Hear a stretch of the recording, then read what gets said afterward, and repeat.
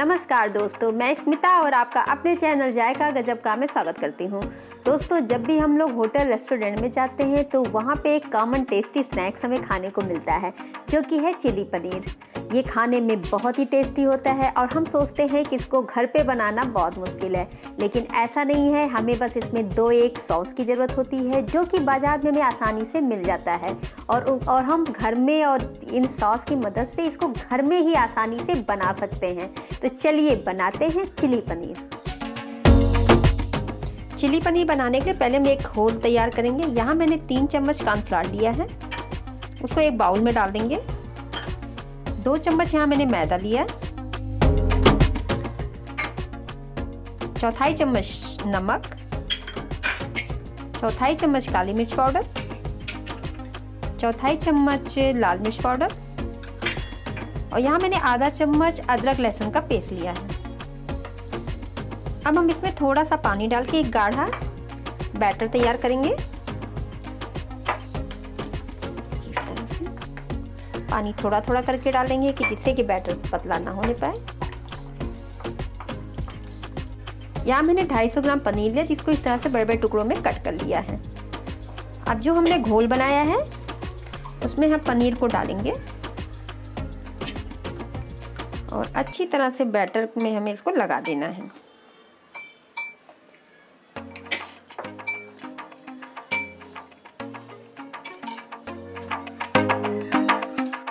यहाँ मैंने एक कढ़ाई ली है, उसमें तेल डाला है। जो ये पनीर के टुकड़े हैं, इसको हमें डीप फ्राई करना है।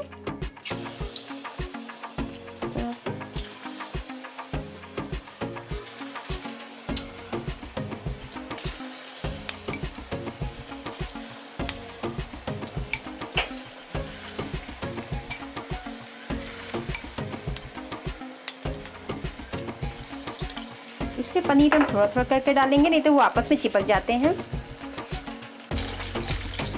देखिए, अब हम इसको पलट देंगे। गैस का फ्लेम लो मीडियम के बीच में रखेंगे।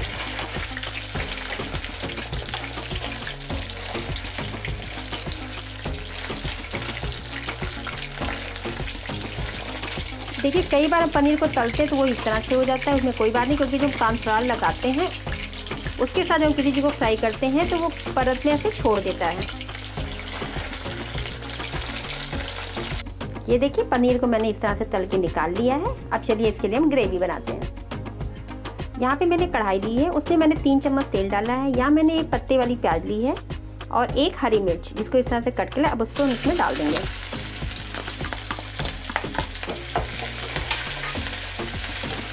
अब यहाँ पे हम आधा चम्मच लहसुन का पेस्ट डाल देंगे। इसको बस हमें 30 से 40 सेकंड तक के लिए भूनना है, बहुत ज़्यादा इसको नहीं भूनेंगे हम। यहाँ मैंने एक स्मॉल साइज़ का शिमला मिर्च लिया था और एक मीडियम साइज़ की प्याज ली थी। इसको इस मैंने बड़े बड़े टुकड़ों में कट कर लिया है। अब हम इसको इसमें मिला देंगे।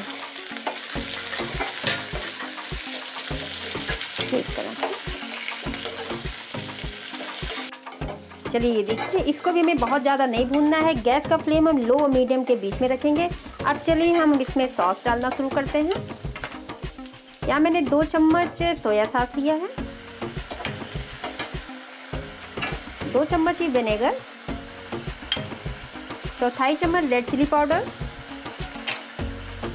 चौथाई चम्मच काली मिर्च पाउडर नमक नमक थोड़ा ही डालेंगे क्योंकि सॉस में नमक होता है। यहाँ मैंने एक चम्मच टोमेटो सॉस लिया है, उसको भी हम इसमें डाल देंगे। और एक चम्मच ही हम यहाँ पे रेड चिली सॉस लेंगे। उसको भी हम इसमें मिला देंगे।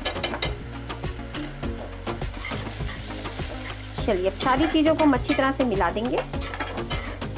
गैस का फ्लेम लो और मीडियम के बीच में ही रखेंगे।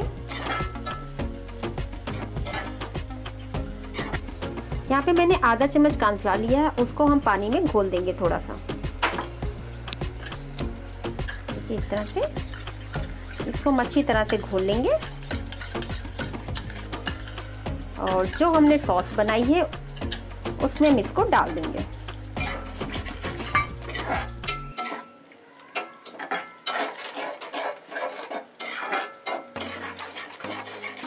अब हम इसको एक मिनट तक के लिए पकाएँगे।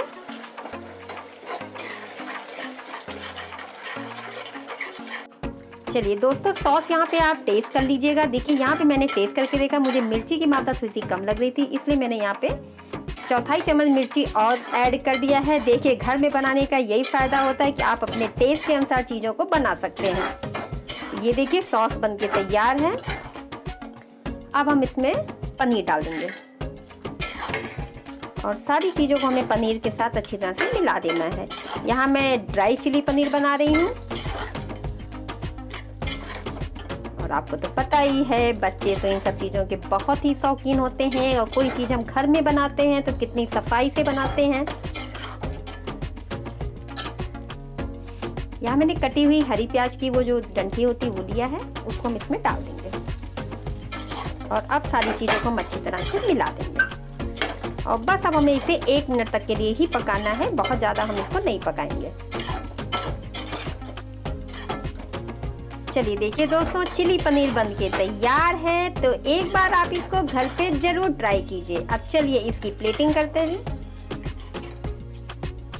ये देखिए दोस्तों, चिली पनीर को मैंने प्लेट में निकाल लिया है। अब इसकी गार्निशिंग में हम थोड़ा सा स्प्रिंग अनियन डाल देते हैं। और ये देखिए, घर पे ही बाज़ार जैसा चिली पनीर बनके तैयार है। तो इस रेसिपी को एक बार आप ज़रूर से ज़रूर ट्राई कीजिए।